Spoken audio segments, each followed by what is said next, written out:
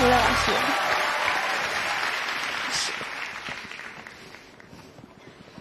推荐理由。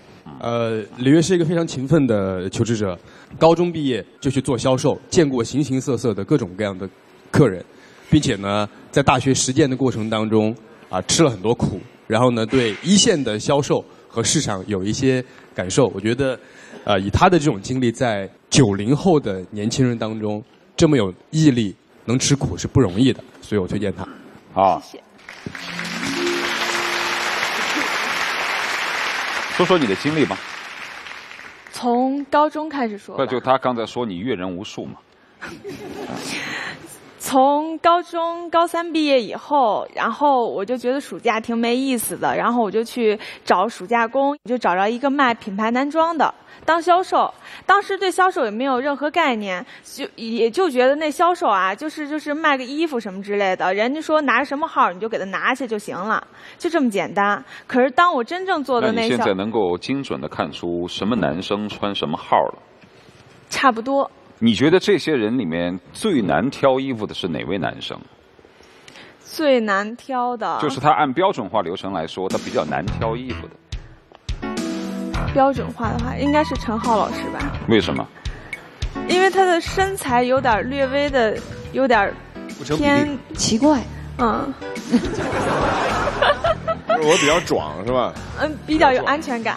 是吧？嗯，对。我不属于胖的吧？不，你是死壮，你是。你说你们俩真会聊天儿我强壮我不属于胖的吧？他能说你是胖的吗？哈哈哈。对，我觉得陈老师可以，其实那衬衣的领子可以再稍微小一点儿，因为比较显得比较有精致一点儿。对，还有一个问题，我们一直不知道怎么解决啊，就我们一直觉得陈浩上半身和下半身的比例是一样的，那怎么通过穿衣服来调整一下他这个？你什么眼神啊你？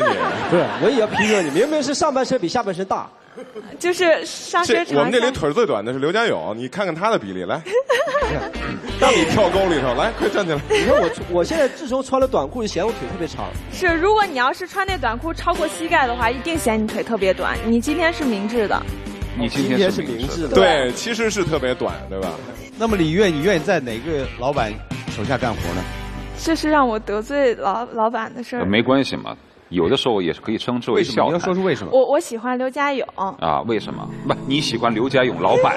啊，我喜欢你喜欢刘家勇老板？我喜欢刘家勇老板。为什么？因为因为我从以前就看过《非你莫属》这个节目，然后从他平时的那些洽谈呀，我觉得他是一个很风趣的人。你一说他，然后我就注意他很久了。嗯，你一说喜欢他，他又那个死样子。久了。注意要加油！不是，我都不忍心打断你，说的太好了。他已经注意你了其实这个问题有点跑题了，李悦。其实丹东老师问你是今天看到两个老板在面试的时候，如果这样的形象出现，如果第一次见面，你会选择哪个老板？刘家勇，还是刘家勇？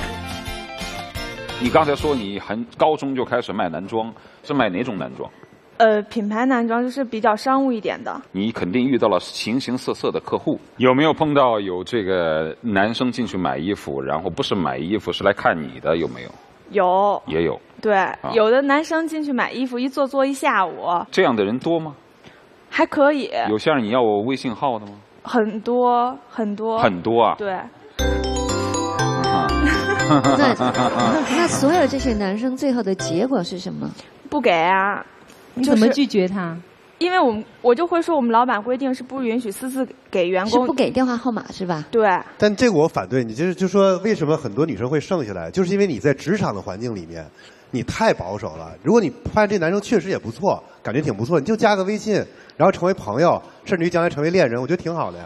不不，我们但是我们李们是在店职场，他是在他在这个工作的地方，他原则上是不能跟他的顾难道难道你不能。爱上你的客户吗？不能跟客户结婚吗？这谁规定的呀？其实我倒是觉得你，你如果说把号码留给他，你可以不断的推广告给他，把你的新品卖给他。我觉得这未必是一件坏事啊。但是其实今天的微信和微博已经是我们社交或者做生意。